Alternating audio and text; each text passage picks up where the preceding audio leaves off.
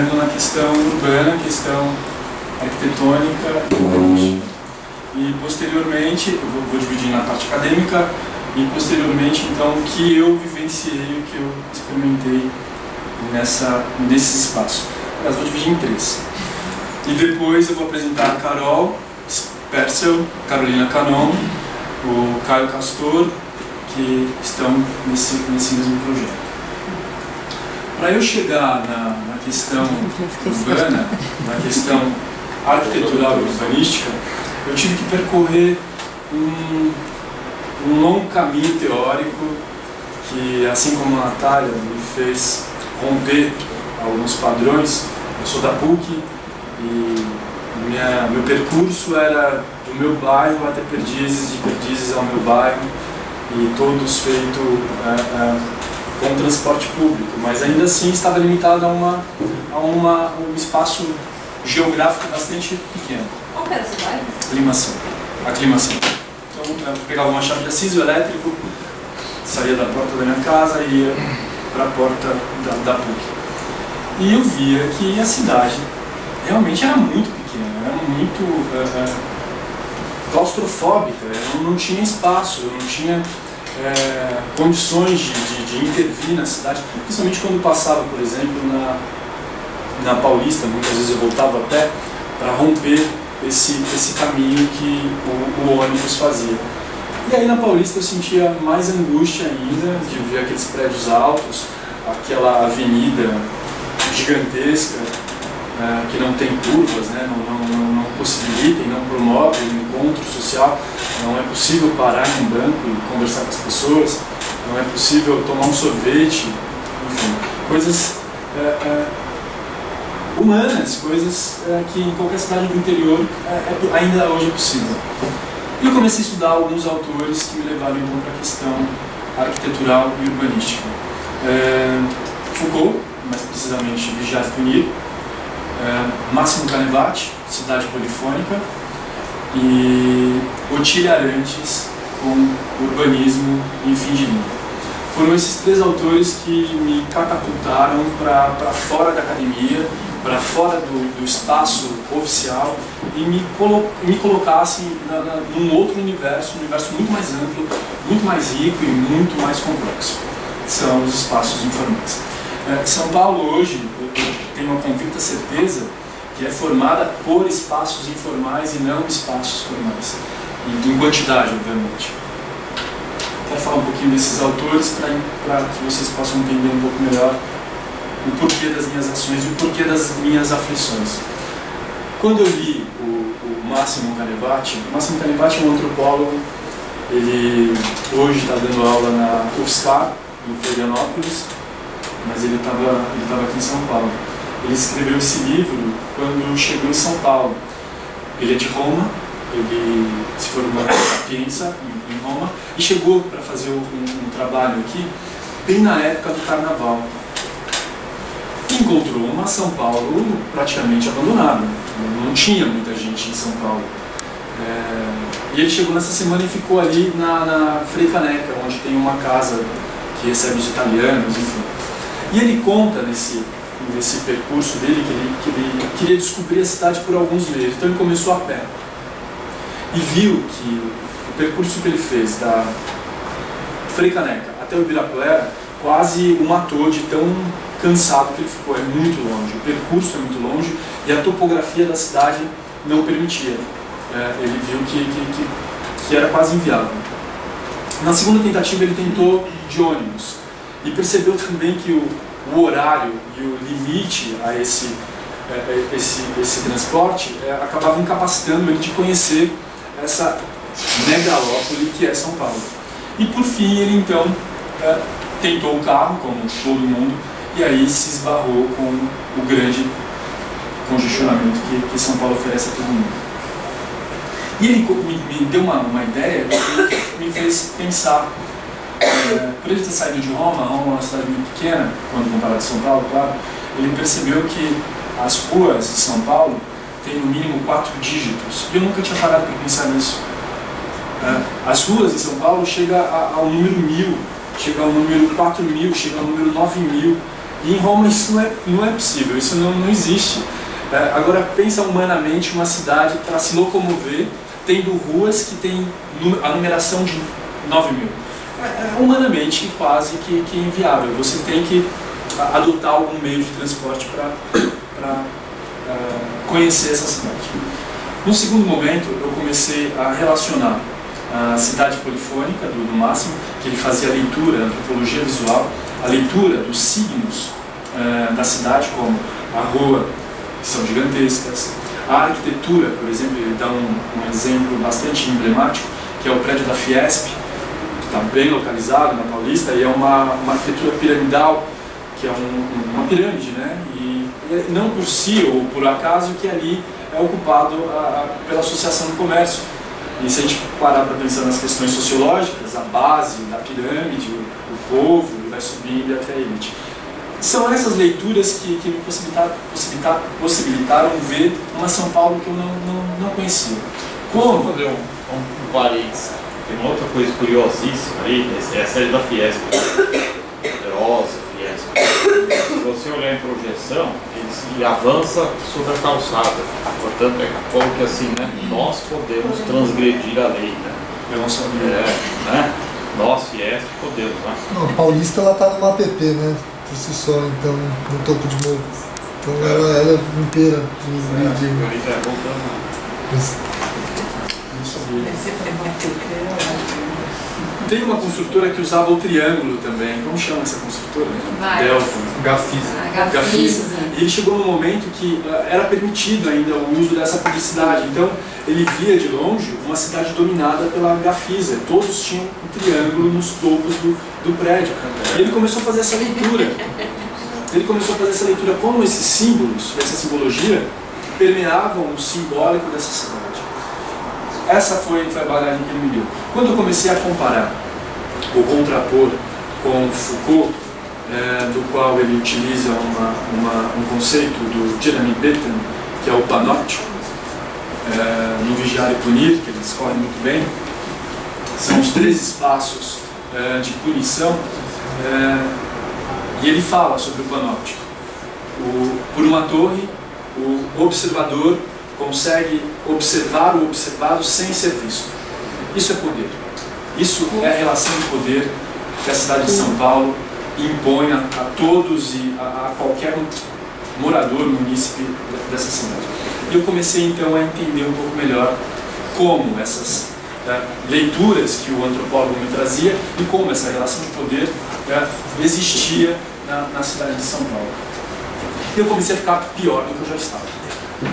Quando eu comecei a ver que uh, os quarteirões não dobravam, quando eu comecei a ver que os quarteirões eram gigantescos, uh, que eu demorava 30 minutos para percorrer a Paulista, que eu sentia sede e não tinha onde beber a água na, na Paulista, eu comecei a ficar uh, muito mal e comecei a identificar o porquê de tudo isso. E aí eu cheguei, inevitavelmente, à arquitetura e o urbanismo modernista. É, e o, racionalismo, né? como a racionalização, o perigo do racionalismo do espaço, os perigos que isso pode trazer. Não a, a questão racional, todos nós somos racionais, mas se nós pararmos para analisar a corrente filosófica do racionalismo, os ismos, o bismo, o dadaísmo, o futurismo, são todos datados e tem um propósito, tem uma corrente de pensamento, tem um pacotão de pensamento, atrelado ao positivismo, ao progresso e blá, blá, blá, blá, blá.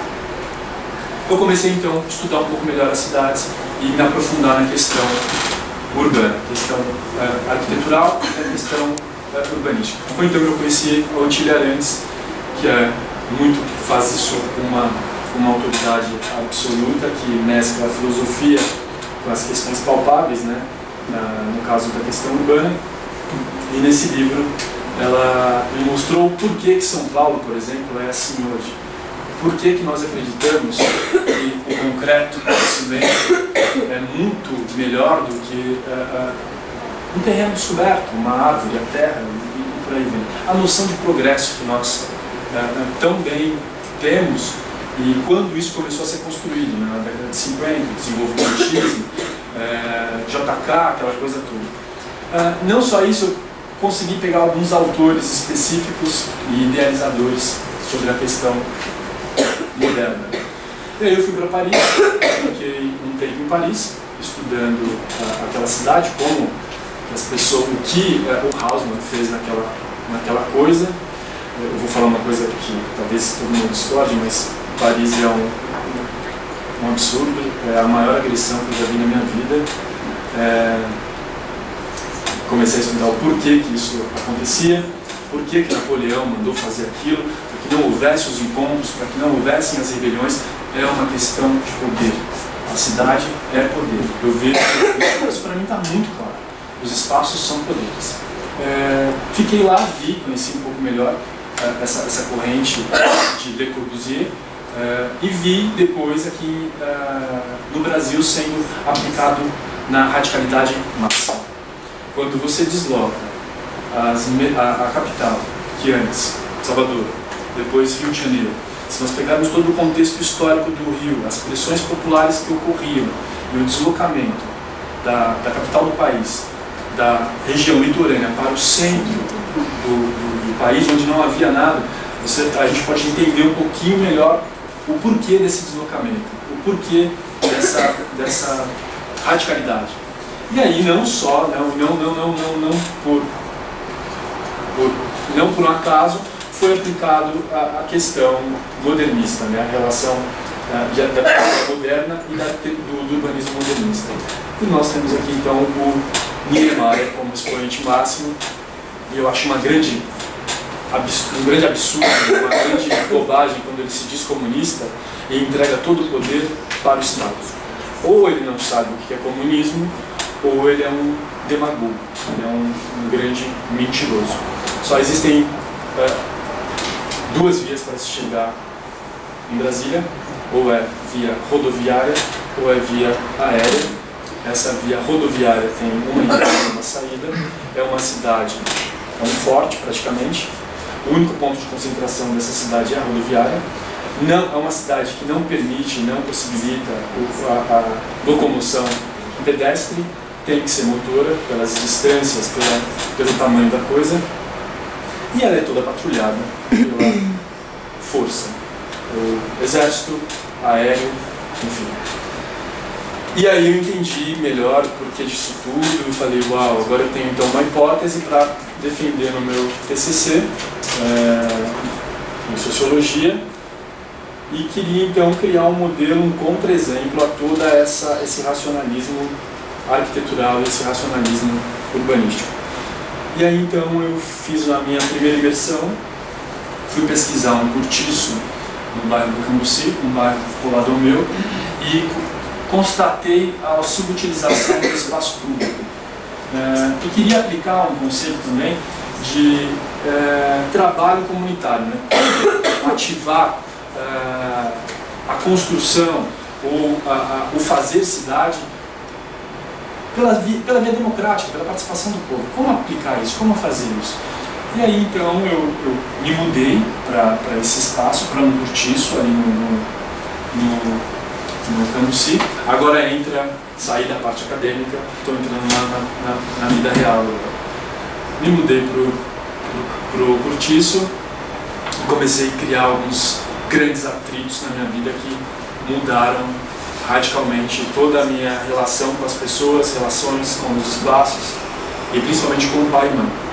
Meu pai, a princípio, uh, disse que eu estava maluco. Uh, como assim? Uh, porque o método de, de, de ação para limpeza desses espaços e reaproveitamento desses espaços públicos é a vassoura e a enxada. Simples assim. E o diálogo, né, que vai, que vai sendo trabalho. E aí quando meu pai me viu com uma enxada na mão, com uma, uma vassoura, ele falou assim para mim, é, então você não precisa fazer PUC. Pegar na enxada, você não precisa fazer PUC. Né? Saia da PUC, para de fazer PUC e vai fazer o que você tem que fazer. Né? Não foi tão simples assim. É, eu fiquei morando lá por seis meses, era o laboratório dessa, desse experimento, dessa, dessa bagagem teórica que, que eu trazia comigo e não sabia como muito bem pôr em prática, mas já estava dando as caras ali, eu vi que a coisa deu muito certo. Em 15 dias, havia mais de 25 homens com a mesma a, a atitude que a minha, limpando o escadão, é, intervindo na arquitetura do escadão. Esse escadão era utilizado como ponto de é, tráfego e lixeira coletiva. Havia um cortiço, há um cortiço do lado e o lixo saía pelas janelas. Eles não saíam sequer é, do, do, da porta para jogar, eles jogavam da janela mesmo todo, todo, todo o lixo doméstico. E essa, essa uh, relação com o espaço mudou por uma intervenção arquitetural e socioeducativa. Gradativa, rápido, seis meses deu certo, e foi uh, na aula de antropologia, com a Rita Alves, ela pediu para que eu fizesse a produção de, de imagens. Eu fui então procurar uma favela para aplicar esse mesmo, esse mesmo modelo, ou seja, o biolupo. E cheguei num dia bastante simbólico, foi um dia de São Judas Tadeu. Uh, existe uma igreja ali na saúde, existe uma igreja ali na saúde, que é a, o Santuário de São Judas, e todo dia 28 eles fazem uma grande festa, um grande cortejo para esse, esse santo católico. E eu cheguei justamente nesse dia da, da, da maior, do maior festejo. E estava procurando os atores daquela festa, tal, tal, tal. De repente o, o cortejo passa por entre uma favela. Eu falei, pô, poderia ser aqui. Aí me aproximei da, da, da, do santuário, fiz esse primeiro contato e eles então uh, possibilitaram a minha entrada na favela Maura, fica na saúde, e me cederam o espaço comunitário para que eu morasse. Esse foi o momento mais crucial mais difícil uh, que, eu, que, eu, que, eu, enfrentei em casa. Eu tive que sair então do cortiço para ir para uma favela. Aí na favela eu encontrei vários, várias outras questões.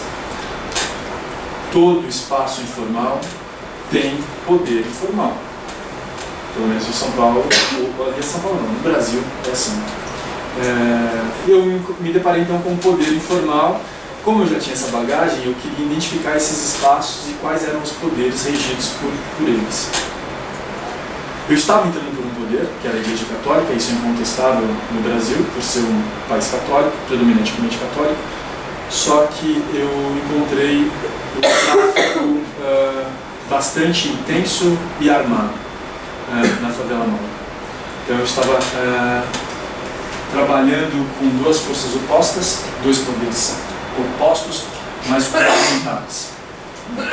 Estava ocupando um espaço simbólico, bastante simbólico, que era o centro comunitário da, da comunidade da favela, onde haviam as reuniões, onde haviam as vacinas e onde haviam as missas. Então, quer dizer, além de tudo, era um espaço religioso é, o que fez com que muitos moradores me confundissem com algum uh, padre, algum seminarista nos, nos, nas primeiras semanas. Isso me ajudou, de certa forma, um pouco uh, para manter esse, esse. Uh, morei lá por dois anos, comecei a identificar o que, que era público e o que era privado. No Brasil nós temos um problema, um grande problema. Nós não sabemos o que é público, não sabemos o professor acabou de dar um exemplo, nem a Fiesp sabe o que é público e o que é privado. Uh, nas classes mais, uh, mais humildes, essa confusão é muito mais intensa. E encontrei o mesmo problema também, subutilização do espaço público como lixeira e tráfico de drogas. É claro que numa gama e numa complexidade muito maior do que o cortiço. Essa favela mal tem em torno de 3 mil famílias, ela é bastante intensa. Uh, existem alguns, algumas casas ainda em madeira, mas a grande maioria é. E eu comecei então a identificar esses dois pontos, uh, o que era público e o que era espaço privado. E houve uma certa confusão, porque eu estava morando no espaço público e estava trabalhando uh, também no espaço público comecei a intervir então nas vielas e principalmente onde a comunidade jogava lixo, onde toda a comunidade é, era em torno de mais ou menos quase duas toneladas de lixo diário que a comunidade jogava. Eu falei, bom, então, para que eu não, não faça essa intervenção no centro comunitário, porque o centro comunitário estava bastante precário, é, e eles não entendessem que eu queria simplesmente trabalhar no espaço é, privado, porque eles entendiam que aquela casa é privado, embora tivesse uso público. Eu falei, bom, então eu vou ter que sair do espaço uh, privado e trabalhar no espaço público.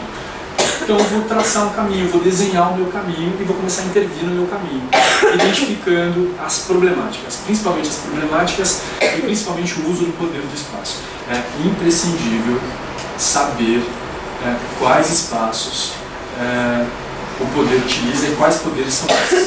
Para nossa segurança, para qualquer intervenção em comunidades, nós precisamos saber qual a utilização daquele espaço. Ah, e nada está aparente, a não ser o lixo. Todo o resto você tem que, tem que descobrir. E o que pode ser ah, algo simples, algo ah, inocente, pode causar um problema gravíssimo, um problema seríssimo para a nossa integridade física e até mesmo para quem nos colocou lá na, na, na favela. Então nós temos que estar muito atentos a, a essa questão do, dos espaços. Quais, a, quais a, são a utilização dos espaços. Então eu comecei a intervir no lixão, que era um lugar que eu tinha certeza que ninguém queria e ninguém iria se importar se eu começasse a ali. A princípio, de novo, começo a limpar, fechar a vassoura, retiro todo o lixo, junto com a ajuda da, dos moradores, que eles começam a entender o que eu estou fazendo, mas o start, quem dá o start sempre sou eu. E aí essa, essa é, socialização começa, eles entendem o projeto e aderem ou causa. Muitos aderem, porque entendem que o espaço é deles e, e por aí vai. Então eu comecei a limpar ali, e para que não pudesse ser é, reutilizado como lixeira, nós temos que dar uma outra, um outro significado, é a ressignificação simbólica do espaço. Antes ele tinha um uso, agora ele não tem mais aquele uso, só que você tem que dar outro uso para ele. Porque se você não der outro uso para ele, vai voltar ao mesmo uso ou o uso que já está pré-estabelecido, que já está em construção cultural. Então, normalmente, o que eu faço? Eu retiro lixo e faço uh, a intervenção paisagística e artística. Ali eu planto árvores, planto uh, flores, uma questão estética mesmo, porque acredito que as flores humanizam o espaço, e produzo arte pública junto com os moradores, de modo que eles, ao pertencerem uh, a todo o processo de construção, eles mesmos não vão destruir o que eles construíram. Porque se for nós chegarmos na comunidade e fizermos isso, nós podemos repaginar toda uma comunidade. É passado 15 dias, essa, toda a repaginação será destruída, se não houver a construção é, junta, conjunta com a comunidade. Então eles precisam se sentir inseridos e mais que isso, eles precisam é, suar bastante. Eles precisam ver que é muito é, é, custoso fazer qualquer melhoria espacial. Feito isso, já dentro da comunidade, meu pai surta, minha família surta completamente. Você está usando drogas, por isso você foi para a favela. Isso foi em 2007, pessoal. Essas questões ninguém queria faz, falar, ninguém queria fazer. Uh, existe uma, um preconceito muito grande contra favelas, ainda hoje. Vamos colocar o exército na favela e pronto, acabou. Não, não existe nenhum projeto que ative a reconstrução do espaço, mas sim intervenções estatais, intervenções pontuais em, em determinados espaços. Então, lá, em 2007, ainda a coisa estava muito mais complicada. Aí meu pai achou que eu era traficante, meu pai achou que eu era um, um usuário de, de drogas, e contratou uma clínica psiquiátrica de Botucatu para fazer a intervenção. e aí eu estava lá um belo dia, é, trabalhando no espaço público, chega uma ambulância, três homens, e aplicam o famoso teste da razão. Aí eu, como todo bom favelado, falei, então vamos no meu barraco para a gente tomar um café e a gente discute.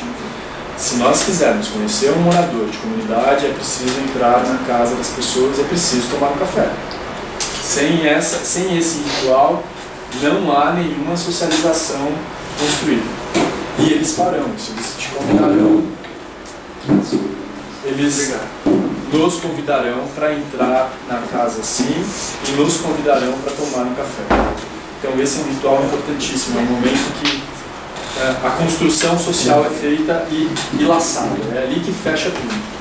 E aí eu fiz o mesmo ritual que eu aprendi, eu levei os caras para tomarem café é, no meu barraco e ah, respondi as questões dele, né? apresentei a hipótese do, do meu projeto, eles viram que mais razão impossível e saíram de lá com a seguinte frase: O Brasil precisa de mais loucos como, como você. Naquele momento, meu pai perdeu. Ele entendeu que é, eu não estava nem, nem, nem drogado e nem maluco. Passado dois meses, passaram dois meses, mas é difícil conter, você sabe disso, difícil conter essas barreiras, esses, esses paradigmas que nós brasileiros temos e principalmente da favela, porque a relação com o concreto que eles têm é muito grande. E o que eu fazia? Eu quebrava concreto. Então, para a favela, para a predominância da, da, dos favelados, eu não tenho nenhum problema com falar favelados, eles gostam e é assim a gente usa favela. Esse negócio de comunidade é, é, para gringo ver. Favela, favela, favela, favela de novo. É, a relação que eles têm com o espaço e o concreto é muito muito intensa, porque primeiro que eles acreditam nesse modelo desenvolvimentista que foi adotado desde a década de 50, com o JK falando do, do progresso, do progresso, do progresso, do progresso, das rodovias e blá blá blá. Segundo que é eles mesmos quem compram uh, o, o, cimento para fazer toda a pavimentação, a encanamento, a rede hidráulica. Então quer dizer, quando chega um, um louco lá e começa a quebrar o que eles pagaram para construir e o que eles consideram como higiene, como progresso, então eles surtam, falam, como assim, meu amigo? Eles sabem quanto custa um tijolo, sabem quanto custa um saco de cimento, e aí eu falo que tem que quebrar todo o cimento para que a terra respire, que a gente tem que plantar. Fala, esse cara tá louco. A noção que muitos carregam é que terra é sinônimo de sujeira. Sujeira é sinônimo de terra. E aí romper com, esse, com essa relação é, é um processo gradativo e requer tempo. Voltando então à, à internação. Passado então dois meses, uh, ia acontecer o Urban Age uh, aqui em São Paulo. O Urban Age é um programa internacional de estudo das metrópoles e em 2008, começo de 2008, eles vieram fazer essa, essa, esse estudo e essa apresentação dos problemas da metrópole em São Paulo. E eu acabei entrando nesse, nessa conferência internacional sem nenhuma pretensão. Todo o meu trabalho, tudo que foi construído, a reforma, a reforma do espaço, a construção da biblioteca, as intervenções nos, nos espaços públicos, é, tudo isso não custou um real. Eu nunca gastei um real. Eu nunca tive nenhum patrocínio para fazer também. É, quando aconteceu esse, esse, essa conferência, eu tive que receber corpo de jurado do Urbanejo. E aí foi a minha surpresa. Primeiro, por saber com quem que eu estava concorrendo e segundo, por saber quem que eu ia receber. Eu, vamos começar pelos jurados. Eu recebi na, na favela Lisete Lagnado, que era então a curadora da Bienal, da 28ª Bienal, Como Viver Juntos, em São Paulo. Recebi o Anthony Williams, o prefeito de Washington. Recebi o Raí, o jogador de futebol a Tata Amaral, a cineasta, o Rick Burdett, que foi o é, diretor do Urbanage, diretor do Urbanage, e, e também hoje em dia foi, foi o responsável pelo plano diretor do, dos Jogos Olímpicos da Pilot. É. Fernando? E, ele já, e o Fernando, Fernando Melo, que é um, um arquiteto, colega nosso, dá aula aqui também. Dá aula aqui? Dá. Legal. é, que mais é, eu acho que foram essas pessoas e aí é, eu vi uma favela toda mobilizada para recebê-los, eu vi a comunidade é, é, é muito receptiva para recebê-los e aí eu vi também quem, com quem estava concorrendo. Com o Instituto Sou da Paz, da Pombinha, tem 2 milhões para realizar essa, entre essa mesma coisa, ou seja, criar ambientes, espaços de paz Uh, o Instituto Acaia, que tem 1 milhão e 600 reais para fazer a mesmíssima coisa, a intervenção arquitetural via arte. Uh, também concorri com o Gilberto Menstein, que tem escola projeto aprendiz, que ele acha ainda que a, que a, que a, que a, que a Vila Madalena é periferia, mas enfim, ele está lá construindo, tá fazendo a coisa. E também tem um, apoio, um, um aparato midiático bastante intensivo. E aí, eu, no meio desse, dessa galera toda, eu falei, meu Deus do céu, o que, que está acontecendo, né? E aí meu pai vendo o que estava acontecendo, ele viu, realmente, ele conseguiu entender que eu não estava maluco, que é, é uma questão pertinente, e eu fui um dos ganhadores, então, do Urban Age. É, quem ganhou foi a Ruth, Tereza Ruth Sampaio, se não me engano, no Edifício União. Ela realizou um retrofit ali no Bom Retiro, também tirou alguns problemas sociais e fez junto com a, com a comunidade a repaginação do edifício e oficialização do edifício, água, luz e esgoto. Ela só fazer um permite um plano, a galera acho que não conhece o livrinho, né? Thaís, mostra o livro, levanta o livrinho. Ah, esse, esse mesmo. É. O Marcos Rosa, depois do Urban Age, né, acabou publicando o livro, deixa eles rodarem, eles, ele, ele, eles já viram? É legal que tá bilingue, né? O, a galera daqui que é meu aluno, já, né, a gente divulga sempre, tá lá. mas para eles é legal, dá uma olhadinha. Então isso aí são. It's for you. It's for you. Take a look. His experience inside. His experience inside. It's a, small collection of the, uh, the, the competitors Yes. for the prize, the Urban Age, the and the Urban was is one of the method uh, situations.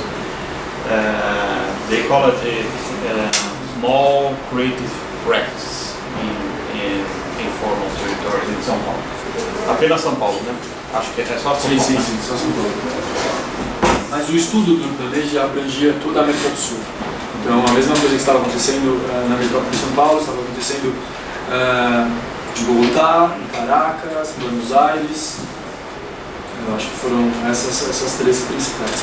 Bom, e aí eu acabei sendo um dos ganhadores do, do projeto, eh, recebi 10 mil dólares de, de premiação e esse, esse projeto foi feito pelo Platinum Bank e pela London School. E teve uma repercussão como esse livro e como outro livro, Endurecido, eu não sei como. Os grandões, os dois grandões, né? O laranja. Lívido, é, exatamente, da, da Python, e teve uma repercussão então, internacional do, projeto via essas duas publica- publicações.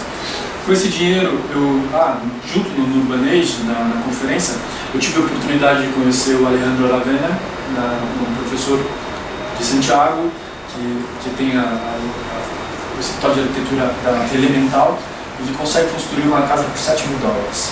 Esse é, é o desafio que ele conseguiu fazer, né? é, executar. E nós também temos, nós também temos esse, esse desafio a superar o Alejandro. Tive a oportunidade Ah, de vocês estão nessa, né? Vou, vou apresentar daqui a pouco. Ah, tive a oportunidade de conhecê-lo, também tive a oportunidade de conhecer o Henrique Pinalosta, que me fez um convite para conhecer Bogotá. Eu fui para Bogotá, vi o que o cara estava fazendo, o cara realmente causou em Bogotá, Transmilênio, as ciclorotas, as ciclovias, e aí a gente foi andar de bicicleta. Aquela foto da sua é de lá, eu vi, né? Da, você estava na bicicleta. Sim, é, tem voltar. É, se existe hoje uma cidade experimental nas questões de locomoção, e não só locomoção, mas urbanística, sem sombra de dúvida ela é Bogotá. Pelo menos na América do Sul. Na América do Sul, a referência que eu tenho é, é ali. E aí vi então que, que é, o que estava acontecendo, ou o que eu estava propondo, não só estava acontecendo em São Paulo, como tinha todo um contexto é, global. Foi o que o urbanismo me trouxe que eu não tinha. Eu ajo pontualmente, eu ajo na, na micro escala e eu trabalho com micro planejamento urbano. Bom, esse foi o BioUrban e isso foi o que aconteceu. É, passado é, algum tempo, 2008 foi a premiação, 2009 é, tem final de 2009 se não me engano, tem todo, 2009 eu viajei, fui conhecer todas as metrópoles da América do Sul, me concentrei mais na América do Sul para entender o que, o que nós latino-americanos estamos fazendo. 2010 conheci o Caio, transição de governo Lula, Dilma, questão favela bombando, extremamente pertinente. por uma jogada política, o Lula uh, fez uma ação no complexo do Alemão ao usar o exército, uh, talvez pela segunda vez na nossa história, o Estado brasileiro usa a força militar que por si só ou conceitualmente deveria ser usada ao inimigo, nós usamos contra o nosso próprio povo.